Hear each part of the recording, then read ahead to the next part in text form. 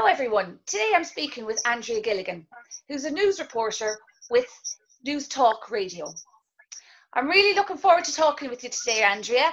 And I know when you joined Sligo Grammar School, you made the trip from Ballyshannon to Donegal, from Donegal, from Donegal, and you became a boarder. So, can you tell me, was it a daunting thing to become a boarder um, for you?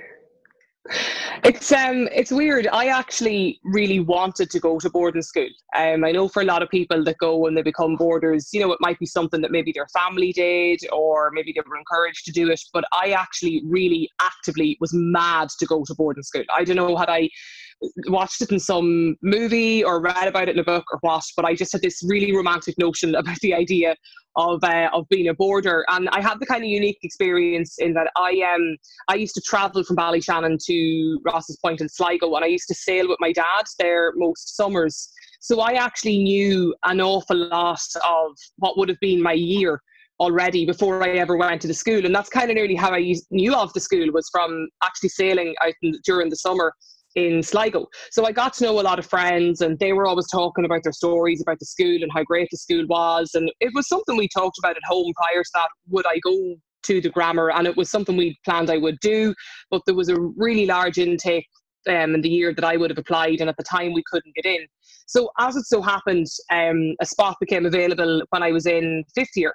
So I actually left my school in Ballyshannon a lot later um, in my kind of you know secondary level education, and I only went to the grammar for two years. And yeah, of course, it was a bit daunting going like you're packing up and you're heading off, and you're thinking I was going to be moving in with 19 other boarder girls. And although I probably knew maybe two or three of them before I went in, which was great and a huge help because um, one of the girls actually brought me into her dorm with her and I shared in the dorm with her. So that was a huge help to be able to, you know, to have that and that comfort of knowing that you kind of had somebody to take you under your wing a little bit and they could introduce you to people. But I only have one sister, one sibling. So, like, the idea of sharing with 19 other people was just like, oh my God, what if we don't get on? How is this going to work? Um, but it was great. Like, I did the two years in the grammar and I thoroughly enjoyed every minute of it. I loved it. Like, I, I wish with hindsight I would have gone there if I'd have got in for my whole secondary level education. Um, you know, I would have loved it. Like, but it was such an amazing experience. Just I think it was maybe a bit of the novelty of being away from home as well was a huge part of it. But um, I really, really enjoyed it. Like, and I look back at it with you know such great memories. Um, like I made such such amazing, incredible friends there. And in fact, like of the boarder girls, that group of twenty of us is a group of us still that are still the best of friends, still great mates. And I would, you know, really regard my actually my friends from the grammar are probably my my bunch of closest friends that I have, even still to this date, uh, so many years on. I won't say how many, but but it's funny the kind of bonds and the friendships you build, and maybe it is from living with people. And um, you know, you really get to kind of know them, and you know, it's it's it's great that all these years later we're still still the best of friends. Like that's brilliant to hear. So obviously, let's fast forward then to when you were doing your research. And perhaps, as you said there, because of the boarding experience, going to college then wasn't so daunting about moving away from home because you'd already done that. So when you were filling out your CAO, um, I know that you, uh, like myself, followed the pathway and went to NUIG and did a BA. Were you always mm. thinking about a career in journalism at that point then? No, absolutely not. Journalism had never entered my head at all. I um I always had this sort of a I always kind of wanted to do law and that was always what was in the back of my mind, but I knew I'd never get the points to do straight law. So I knew I was always going to have to do the back door into it and, and let that be through an arts degree. And I sort of had this kind of romantic idea of working as a barrister. I don't know if it was the cloak and wig or what, but I, I kind of had this, that was always what I really wanted to do. Um, so I sort of had it always in my mind that I'd probably do an arts degree and maybe do the LLB after that. But I al- also at the same time still kind of liked business and like and, and liked marketing. Um, and I actually had that down as my my first choice in my CAO. And when the CAO results came out, I was faced with like, God, I got my first choice in marketing. And then I was like, I don't really know if I want to do this. And I think I put it down because I was good at business in school. Um, and I was like, I don't know if I want to do this. So I ended up actually repeating the leaving cert just to kind of re reapply through the CAO. So I suppose my advice to people would be make sure you do put your first choice down in your CAO because when you get it, you have to take it. So um, I, I ended up doing an arts degree the following year. Then I started in NUI Galway and did the arts degree. I actually did the denominated one. It's the um, the BA in uh, public and social policy, and it's really interesting now with hindsight. Actually, if I was to advise anyone going into journalism and doing an arts degree, it's probably the course I'd advise them to do because you get the benefit of three subjects throughout. So you do the legal science, the Soc and Pol, and the economics, and you do them do those three subjects for the three years. But you also do an awful lot about um, Irish and European government and how policy is devised and the impact of that from like a social and economic perspective. So now for the career I'm in, I look back and it actually was a huge benefit, but at the time I, I didn't realise that. Um, my kind of entry into journalism was really bizarre. It was like two weeks before our final exams, and I was meant to go home that Easter period to study. And somebody said to me in the canteen in the college one day, Did you ever think of journalism? And I was like, No, never thought of journalism. This is so, how did I not think of journalism? Like, that's so weird. And I remember ringing home that evening and telling my dad that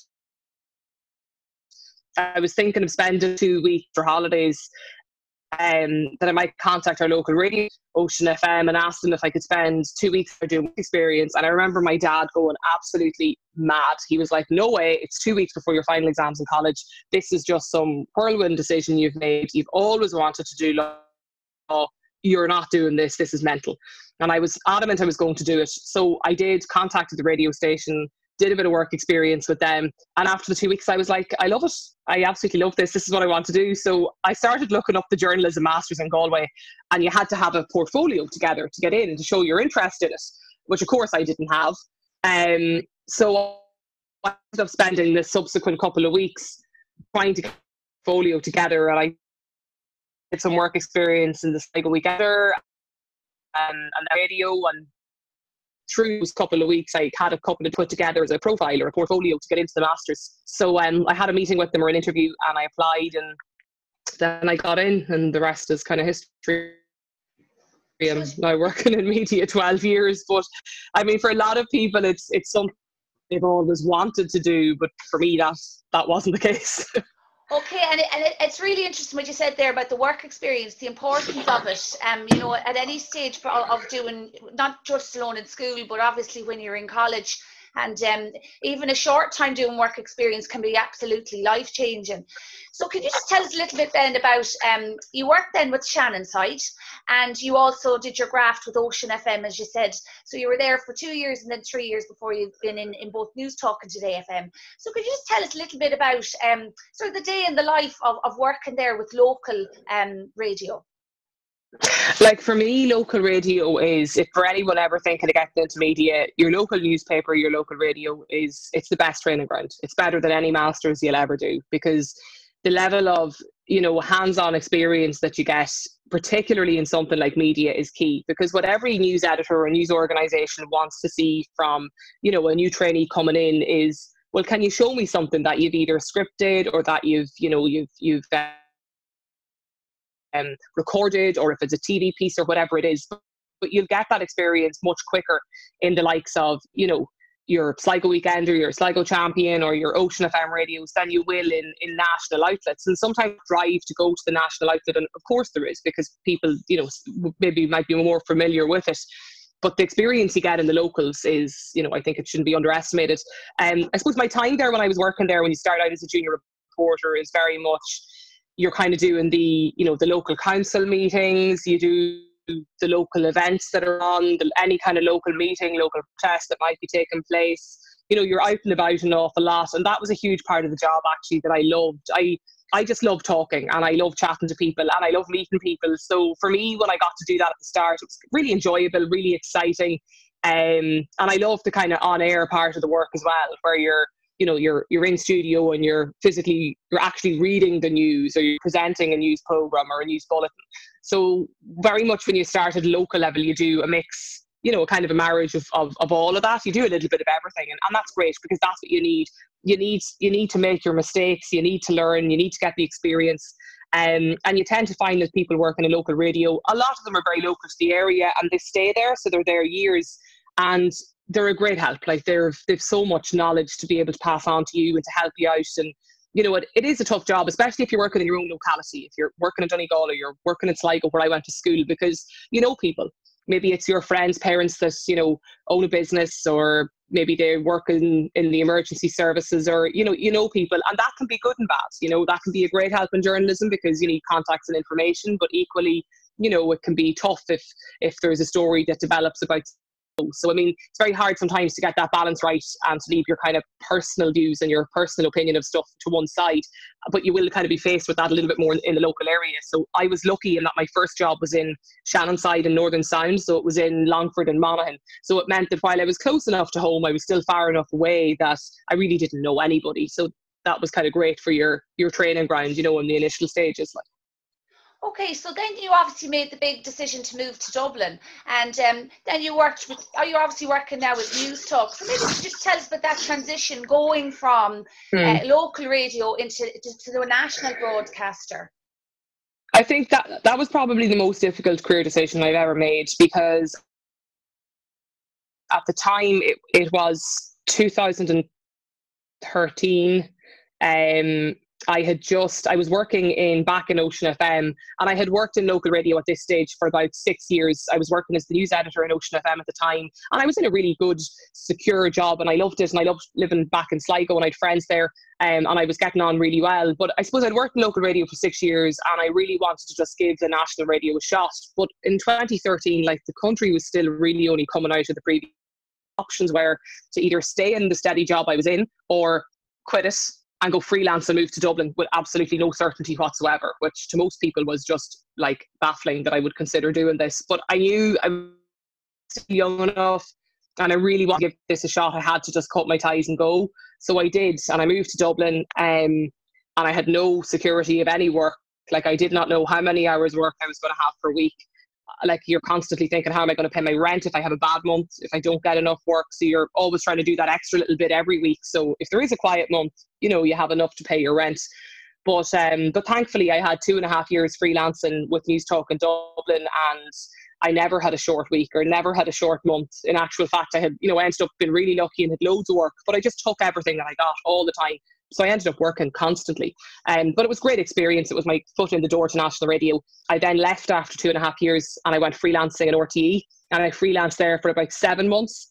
Um, and I was only there about seven months when a permanent job came up in Newstalk and I applied for it and I got it. So I was freelancing in Dublin for effectively about two and a half, three. I've been in my permanent job. I'll be five years and was a big change because there was a huge decision making process to be made around leaving permanent security, you know, leaving a job where you had a wage coming in every month and you didn't have to worry about it to kind of becoming a little transition.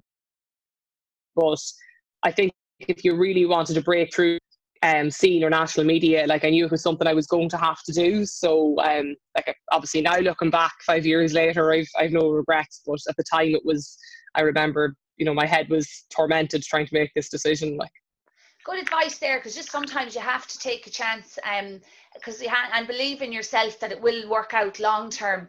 Now i know with Newstalk mm. no no two days are the same for you but you have an early start. So can you just tell us maybe a little bit about your current job and a, a day in the life of, of andrea gilligan broadcast journalist three years when I came back to Newstalk, I worked as the news anchor. So I was the you know news news presenter in the afternoon from uh, midday from twelve o'clock until seven o'clock in the evening. Which, like in Radio Land, these are the best hours you could possibly get. They're golden hours. They're brilliant, and I loved it. But I kind of always had you know an interest and an appetite to to work in radio. It's kind of really where I, I kind of want to be long term. So um, an opportunity came up to do a weekend show. So I started presenting a weekend show on Sunday mornings. And then subsequently after that, another opportunity came up to do an early morning news program. Now, that's what I'm doing for the last 18 months. The only catch is that I have to get up at 10 to 4 in the morning and be at my desk for half four and read nine newspapers and be on air by six o'clock. So it's a really early start, but I love doing it. Like, it's you're the first on air at any station across the country um, you have the first opportunity to kind of you know, use a gen talk about them and to, to go through the papers on air this morning. But like, you know, if you're not a morning person, it's tough going. Um, you drink a lot of coffee, you're exhausted, have a nap every afternoon. You know, th- these are the realities of of uh, the kind of the grade graveyard shift or the, the early morning slots. But it's brilliant and I love it. And I'm doing it for 18 months. Um, so my morning kind of consists of coming into work, um, going through all the newspapers, and that obviously takes time to find the, the, best stories to select for what's kind of a 10, 12 minute news review. So it's, it's pretty lengthy. And um, we put our news bulletin together, which is about eight minutes or so, and then you have a, a morning interview. So whatever the big story of the day is, you're usually interviewing somebody then about that. So the show's on air for 30 minutes, and then I work as the news anchor in the morning from seven o'clock until 10. And then one day a week, then I usually record my uh, my weekend show um, that's now pre-recorded to go out at the weekend. So it's busy, but it's it's it's you know in many ways it's a very short day, and people always think, oh, but you get to finish really early, and you do, and that's great. You know, um, gives you plenty of time for a good nap, so that's always important. But it's a it's it's a it's a busy slot, but it's um it's really enjoyable. Like. So, Andrea, for you, what would you say um, has been the most memorable kind of news story or event, maybe that you or a person you've interviewed um, in, in your career to date? Like I've been really lucky to kind of work at the forefront of so many major things that have happened in kind of Irish society in the last um in the last couple of years. And there's days that you you sometimes you're, you're you're working at an event or you're covering something and you're kind of thinking, God, this is just happening, and like you're there at the thick of it.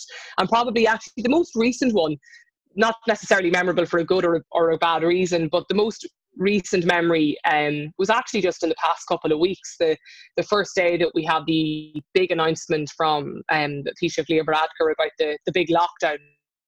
The first day lockdown was being announced. And I, re- I was actually presenting the program because it was only happened quite late on a Friday evening, and I got the call to say, "Can you come in to do this program?" So I was out for a walk at the time, and I remember running home to try and get showered and changed to get back into work for eight o'clock that evening. And um, I remember as I was listening to Taoiseach's announcement and you know presenting the program afterwards, thinking like, "This is a day." You're never going to forget the day that you announced on air that the country's going, you know, was effectively going into lockdown. And I was like, this is something in my too. Like I remember the same-sex marriage referendum, and I remember working on the, the level of emotion across society and the significance of this was was such a huge thing for the country. Um, I remember that being a really memorable day to you know to work at that and Dublin Castle and the scenes from it, you know, afterwards as well. So I suppose there's days you get to work at some of these events and you're like, it's kind of mad to you know to be there at the very very those kind of big moments actually happen, you know. So for you, um, obviously she won't last uh, forever in terms of, of she might retire, Miriam O'Callaghan. Would you have aspirations perhaps for um, moving it, into TV or are you are you loyal and happy with radio?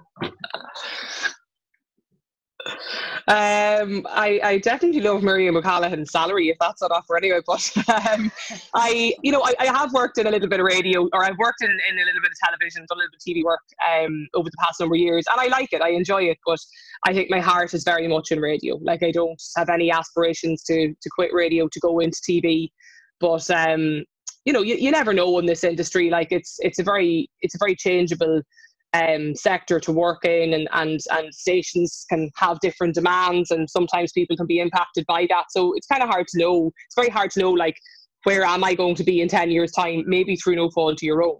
Um, so I, I don't know. Like I, I still do a little bit of part-time the odd TV work just in terms of commentary and analysis and that sort of stuff and I like it but I suppose there's so much more to consider with television um, you, you have to get up even earlier to get yourself ready, and that part definitely doesn't appeal to me.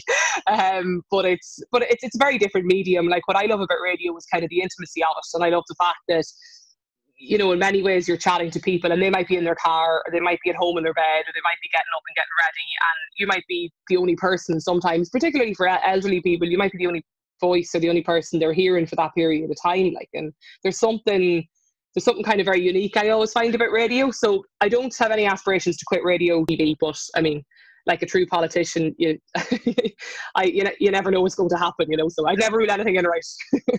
Thanks a million, Andrea, and lots of advice there. So, just if you have you any imparting words of advice that you'd like to give to any uh, budding journalists out there? Yeah, one of the biggest things I did actually, I forgot to mention in my time in Sligo Grammar School was I took part in um, in the debating um or in not the debating society but myself and another one of my uh, colleagues or students at the time nicola mcguinness both took part in the national debating finals. And i remember we got the all ireland semi-finals. And i think for anyone that's interested in journalism or whether it's politics or current affairs, like I think get involved in public speaking and debating because just the strength to be able to do that, the qualities and the skills that gives you, I think is immense. Just the courage to speak in front of people is a really difficult thing to do, and it still like frightens me even now. But I know that was a huge help. Um, the other thing I'd say is like there is huge pressure on students today, and we all felt that. Like, you know, I, I changed career completely um, at the very last moments before, you know, doing my final exams in college, and you know, it's come good and it's come fine. And like the thing about journalism is, it is it is a tough it's tough industry and it's and it's hard and it's difficult to get into. But I think if you're really keen and you're really interested, and you will have to work so hard to get into it and work hard at it. But if you're committed to it and you're hungry for it, and that's what the big thing editors want when you're hiring people, you it's not that you necessarily want the best writer or the best on-air person, but you want the person that is the hungriest and the person that wants it the most and the person that will sit out the story all night and you want that drive and that's they're the kind of qualities that when I was hiring people for jobs, that's what you look for. Um, and there is an element of luck that comes with it. it. Can be timing, you know, sometimes timing comes good for you, sometimes it doesn't you just have to take that with a bit, bit of, you know, a pinch of salt. It's out of your control sometimes. So I wouldn't be too disheartened by that. But I'd always just say to students, like anytime I talk to them, you know, don't be afraid to experiment with courses in college because like a degree isn't necessarily where your undergrad isn't necessarily where you're going to be. You'll probably end up doing a postgrad or you'll maybe go and do work experience in something and end up in a different area. So don't be afraid to do that. Like I did that and it's come grand.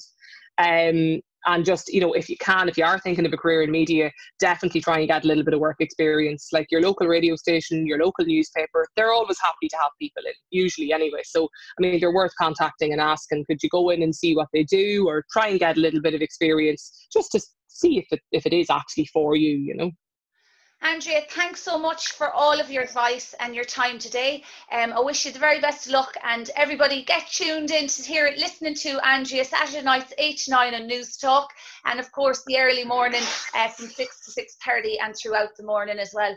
Andrea, thanks again for your time. Thank you, no problem. Thanks.